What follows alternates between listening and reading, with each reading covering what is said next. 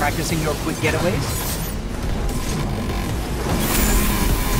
Tower thanks everyone for their participation, but we have our winner.